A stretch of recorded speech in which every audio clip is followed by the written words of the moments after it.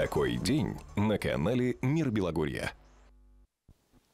Мы продолжаем такой день. Сегодня премьера сельского порядка. И у нас в гостях глава Сергиевского сельского поселения Иван Федорович Ивашина, его э, внук Антон Мазур и прекрасные индюшки. Они вот в этой клетке у нас э, сидят. Их здесь две. Все это жители села Сергиевка Краснояружского района, верно? Да, все правильно. А, вот сначала чуть отвлечемся от э, индюшек. Очень хочется расспросить, кто это, что, но мы обязательно этого коснемся. Э, давайте сначала посмотрим анонс э, предстоящей программы «Сельский порядок», узнаем, о чем она, и возвращаемся в студию. К селу Сергиевка Краснояружского района. Край, который полвека назад облюбовали лебеди. С тех пор в Сергиевке этим птицам посвящают стихи. Их рисуют на воротах, вышивают на рушниках. И, конечно, украшают свои клумбы лебедями из автомобильных шин. Здесь часто играют золотые свадьбы, живут большими дружными семьями и хранят верность не только возлюбленным, но и земле своих предков.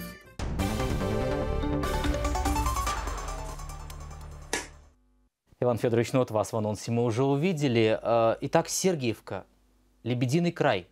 Почему? Расскажите.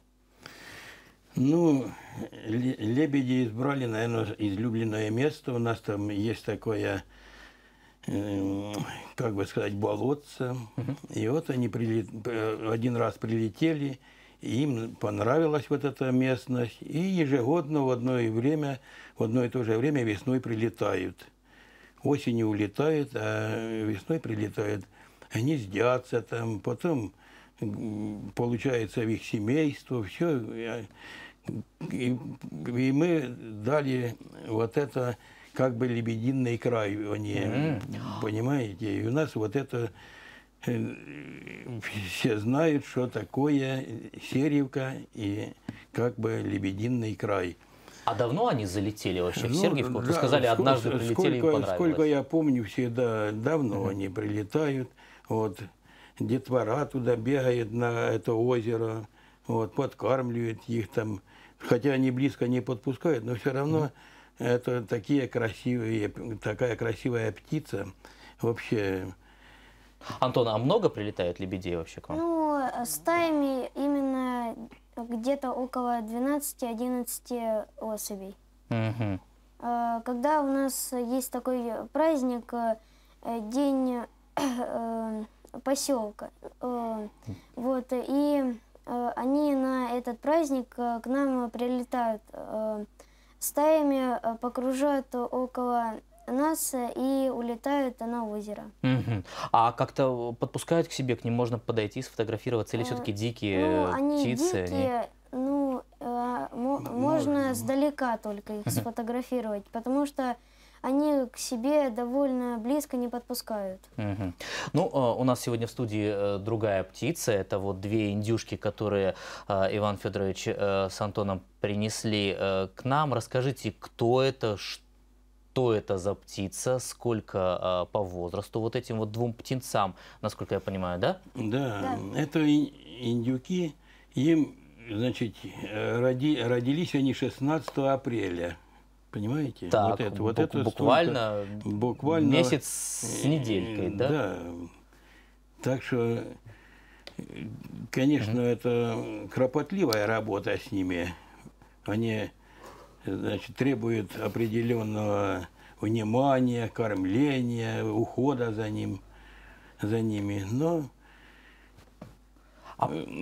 прихотливые такие животные, и Антон полюбил их даже. Антон полюбил. Антон полюбил. Да, полюбил. С этими индюками он занялся буквально уже ну, с самого детства. И дошло до того, что он ездил в Москву, как бы я выражаюсь, как бы защищал диссертацию по, по Ты что, прямо с индюками ездил, с клеткой, что ли, Антон? Ну, не совсем, а я писал доклад про них. Так, ну-ка расскажи, о чем это был доклад, и что ты там рассказывал, и эм, кому ты рассказывал в Москве об индюках из э, Белгородской области? Я попал в отдел биологии. Я там рассказывал про индюков, э, о том, как э, они, они питаются, живут, в чем они находятся все, весь, всю свою жизнь.